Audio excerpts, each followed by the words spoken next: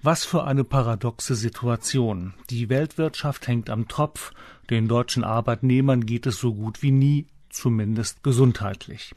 2007, als das globale Finanzsystem aus den Fugen geriet, ließen sich gerade mal 3,2 Prozent aller Arbeiter und Angestellten krankschreiben. 1975 waren es knapp 6 Prozent. Aber sind Deutschlands Arbeitnehmer tatsächlich gesünder? Ernähren sie sich besser? Treiben sie mehr Sport? Leider nein. Die Statistiken offenbaren ganz andere Zusammenhänge, etwa die Angst um den Arbeitsplatz. Wer häufig fehlt, fliegt vielleicht bei der nächsten Entlassungswelle raus. Außerdem befindet sich Deutschland im Übergang von einer Produktions- zu einer Dienstleistungsökonomie mit der Folge, dass körperlich schwere Arbeit immer seltener wird. Gesundheitlich riskante Arbeitsplätze, sagt Hermann Kotziba vom Institut für Sozialforschung der Universität Frankfurt am Main, wurden nach Osteuropa und Fernost exportiert. Dass wir also sagen, niedrige Krankenstände haben, heißt nicht, dass das Arbeiten insgesamt gesünder geworden ist, sondern dass eher die weniger belastenden Tätigkeiten hier in Deutschland verblieben sind.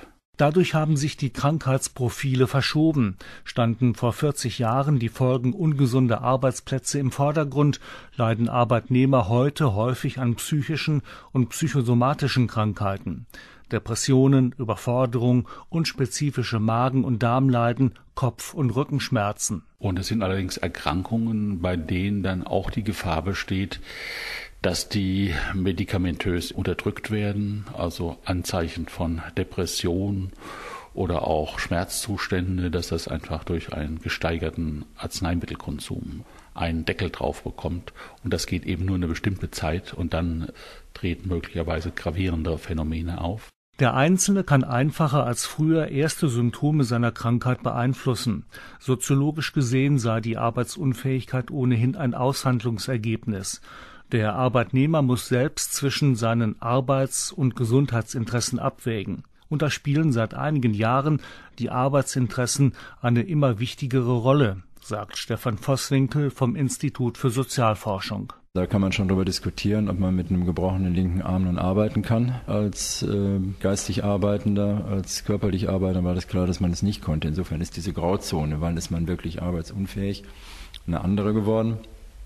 Und von daher ist die Grenze auch schwerer zu bestimmen, wann man jetzt arbeitsunfähig ist. In gewisser Weise zeigt sich hier die Kehrseite der Humanisierung des Arbeitsplatzes.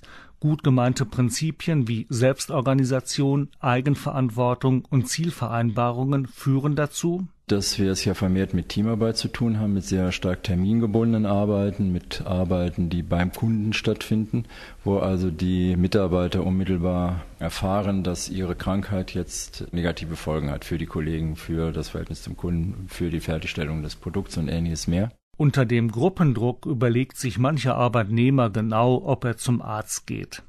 Genau hier beginnt das Phänomen der Krankheitsverleugnung, das die Frankfurter Soziologen in vier Varianten einteilen. Die Krankheit wird entweder verschwiegen, sie wird ignoriert, die Symptome werden eingeengt, oder aber der Kranke will einfach nicht wissen, dass er krank ist. Er fühlt sich unersetzlich.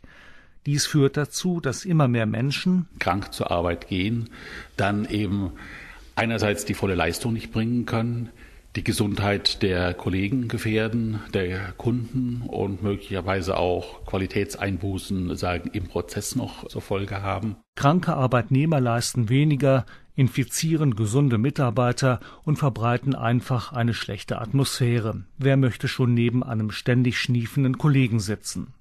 Amerikanische Arbeitssoziologen diskutieren die Folgen dieses Phänomens unter dem Begriff Präsentismus. Ein niedriger Krankenstand ist keineswegs immer sinnvoll, weil natürlich ein gesunkener Krankenstand, also niedrige Fehlzeiten, eben genau das sozusagen zum Ausdruck bringen können, was auch problematisch ist, nämlich das, was wir als Präsentismus oder Krankheitsverleugnung bezeichnen.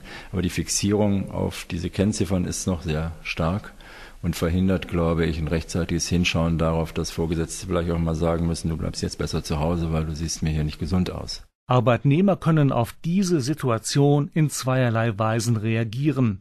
Sie ignorieren den Gruppendruck und kurieren sich aus, was bestimmt nicht immer einfach ist und voraussetzt, sich auch mal mit den Folgen des Leistungsprinzips auseinanderzusetzen.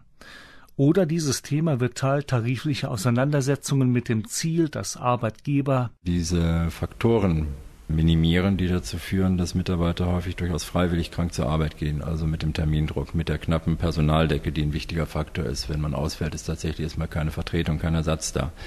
Dass diese Arbeitsprozesse, soweit das möglich ist, etwas entzerrt werden. Und da ist sicherlich die Frage der Personaldecke ein ganz wichtiger Gesichtspunkt.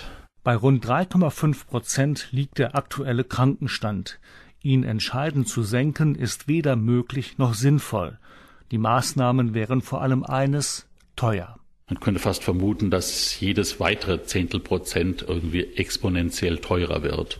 Und äh, dass es eine, einfach eine ganz dumme Milchmädchenrechnung ist, wo man meint, also wir müssen das möglichst nah an Null herunterfahren.